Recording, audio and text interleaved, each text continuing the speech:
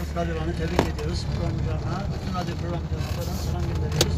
Ve sizler de dinleyicilerimize. Evet, bugün efendim